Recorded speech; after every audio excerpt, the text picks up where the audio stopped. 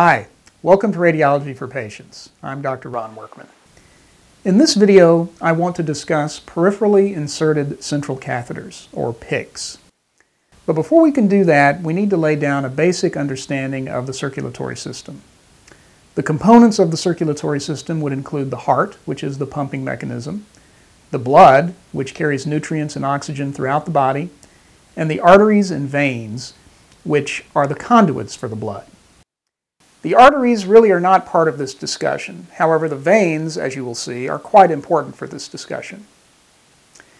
In the context of this discussion, as a rule, think of the veins as returning deoxygenated blood to the heart. The systemic veins of the body can be divided into peripheral veins and central veins, and can also be divided into superficial veins and deep veins. Peripheral veins are those within the periphery of the body, for instance, the arms and the legs, whereas the central veins are larger veins within the neck, chest, abdomen, pelvis, and the inguinal region, also known as the groin area. The peripheral veins converge and become larger as they reach the heart. And that's why the central veins within the neck and chest, abdomen and pelvis, and inguinal regions are the largest of the veins. These veins further converge into the largest veins in the body, the superior vena cava, which lies just above the heart, and the inferior vena cava, which lies just below the heart. Superficial veins are veins within the superficial tissues of the body. Take, for instance, the veins that you can see coursing just underneath the skin on your hand, for instance, or anywhere else in your body. Deep veins, however, tend to be larger and are not visible through the skin. Now that we've established a basic understanding of the circulatory system, let's discuss intravenous or IV access. Patients may need intravenous access for a variety of reasons. Patients may be unable to eat or drink and become dehydrated, necessitating the infusion of intravenous fluids. Patients may need intravenous medication or nutritional support, or they may need blood or blood products. Most IVs that are placed are placed at the bedside within a peripheral, superficial vein, usually in the hand, wrist, forearm, or antecubital fossa. These are very short, traveling only about an inch or so within the blood vessel. These intravenous catheters are meant to last only a very short period of time, usually just a few days, and are sufficient for the majority of circumstances where IV access is necessary. There are, however, circumstances where peripheral temporary IV will not be sufficient. Sometimes medications need to be given which are irritating to the blood vessel and need to be administered into a larger caliber blood vessel that has a substantial amount of blood flow. Patients who require long-term nutritional support will also need a more robust type of intravenous access. In these cases, it's necessary to place a central venous catheter. Central venous catheters, or central lines as they are often called, are IVs that are placed into the large central veins either in the neck or upper chest area or the inguinal area. The veins within the neck are the jugular veins, and in the upper chest, deep to the collarbone, you have the subclavian veins, and in the inguinal or groin area, you have the femoral veins. Like a peripheral IV, these can be placed at the bedside as well. However, because there is a slightly greater risk profile to these catheters, these are placed by physicians. The risk of central venous catheterization is on the order of 10 to 20 percent, and the risks would include bleeding, injury to blood vessels, inadvertent arterial injury, and in the case of a subclavian vein attempt, potential for pneumothorax, which is injury to the lung where the lung deflates. Remember that arteries and veins typically travel together, and so large veins in the neck, the jugular veins, will have nearby the carotid arteries. The subclavian veins have the subclavian arteries nearby, and likewise the femoral veins are close to the femoral arteries. In very rare cases, during central venous catheterization, there can also be the induction of an abnormal heart rhythm. This is due to the way in which the catheter is manipulated into the large veins of the chest. And if the catheter tip inadvertently touches the wall of the heart, it can cause what's called an ectopic or irregular heartbeat. A safer alternative to direct central venous catheterization is the PICC, or the peripherally inserted central catheter. Now that you understand peripheral and central, you can see how a peripherally inserted central catheter spares the patient many of the associated risks with direct central venous catheter insertion. Instead of puncturing a large vein in the neck, chest, or inguinal regions, a PICC is placed within a peripheral vein, usually in the upper arm, although veins elsewhere can be used. The catheter is then threaded into this vein under x-ray guidance and is positioned so that the tip of the catheter is within one of the large central veins of the chest. It's the best of both worlds.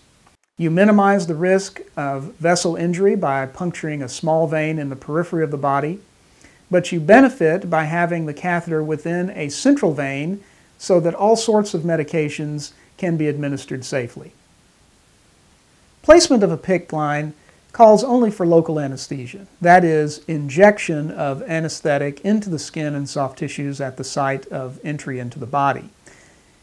However, some patients may be especially anxious or nervous about this, and that's understandable. In those cases, I find it helpful to give an oral anti-anxiety medication such as Valium. If patients cannot take anything by mouth, agents can be given intravenously or intramuscularly in some cases. In very young patients, heavier sedation with more closely monitored anesthesia will be necessary as it's important for those patients to remain as still as possible during the catheter placement. PICC insertion usually takes only a few minutes from start to finish. However, if you include patient transportation and preparation time, especially if heavier, deeper monitored anesthesia is necessary, it may take up to an hour. Another point to consider is that we like to place these within a sterile environment, much like you might see in an operating room, for instance. The reason is, is because we are taking a foreign object, this catheter, and placing it into the body, and we want the catheter to last as long as possible, and in many cases these catheters can last up to six or eight weeks. Because of that, we want to minimize the risk of infection, and that's why we treat it as a sterile operating room type procedure. Unfortunately, no medical procedure is without risk.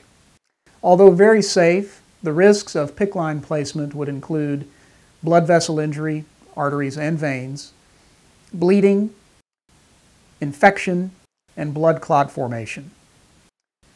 The risk of any complication with PICC insertion is very low. An extremely rare complication would be the development of an irregular heart rhythm during catheter placement. For women who think they might be pregnant, they need to make sure and let their physician know prior to PICC placement. Also, women who may have had a mastectomy or an axillary lymph node dissection or radiation therapy to the chest or breast for breast cancer should also let the radiologist know prior to the procedure. The veins in the arm that are most frequently used are those in the upper arm, specifically the basilic vein, cephalic vein, or brachial vein. At this point in the discussion, I'd like to show you the contents of a peripherally inserted central catheter kit, so you can see an example of what the components are that you'll experience on the day of your procedure. As with any procedure that involves placing a foreign object into the body, PICC lines come sterilely packaged. Since this is purely for demonstration purposes, I'm not wearing sterile gloves, and this catheter is not going to be used in a real case. Also keep in mind that your catheter may look very different from this, and that this is but one example of a catheter currently available. The first step in placing a catheter is to puncture the vein, and this is the hollow needle that we use to do that. Once we've punctured the vein, we then introduce through that needle this very soft, floppy tipped wire in order to gain further access into the vein.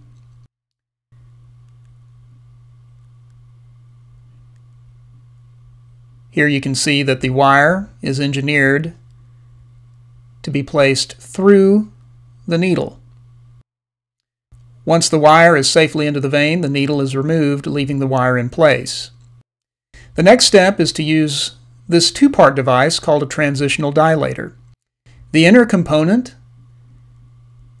is a removable dilator, and the outer component is what's called a peel-away sheath. The two components are used as a single unit initially and are placed over the wire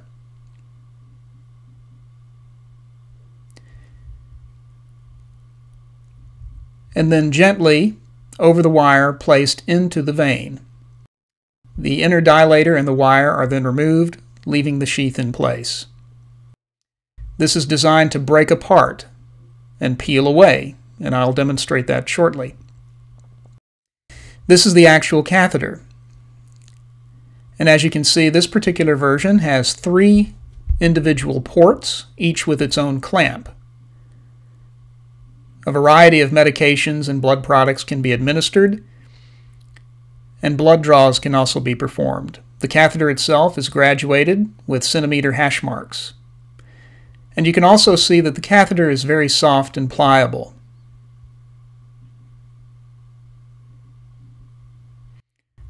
Once the catheter has been sized to the individual patient, it is cut to the appropriate length. Once cut, the catheter is then placed into the peel-away sheath, and as you can see, the catheter emerges from the tip of the sheath, which remember is still inside the vein. The sheath is then broken and peeled off of the catheter, leaving just the catheter in place.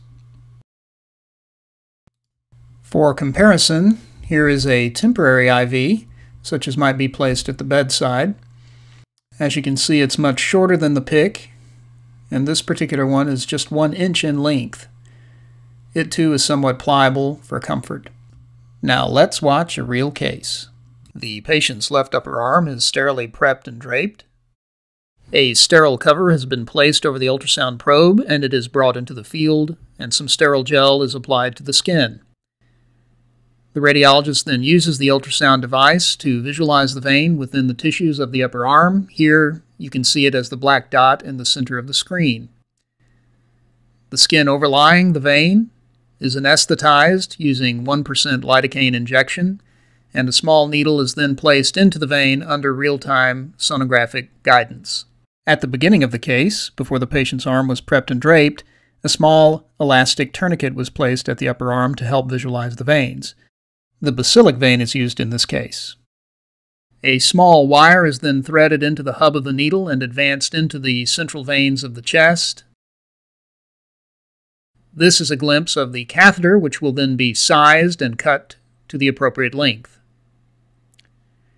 A small nick is made in the skin, and some pressure is held. The entry needle is removed, and the peel away sheath is then placed over the wire and carefully threaded over the wire and thus into the vein. The lights are dimmed and the patient is positioned under the X-ray device.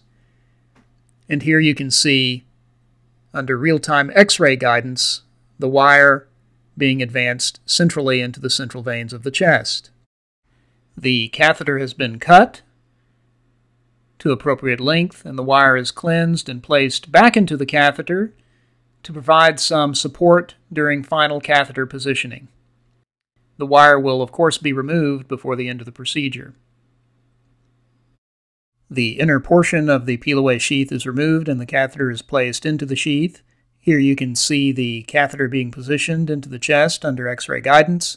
The skin is then further anesthetized the wire is removed and the catheter is flushed and sewn in place.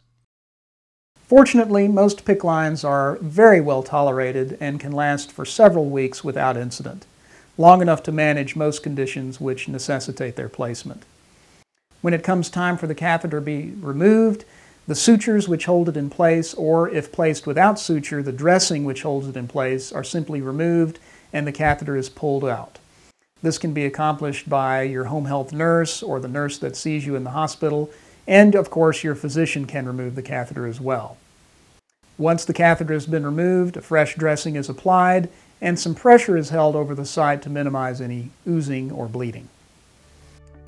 PICC lines have truly revolutionized modern medical care with regards to intravenous access.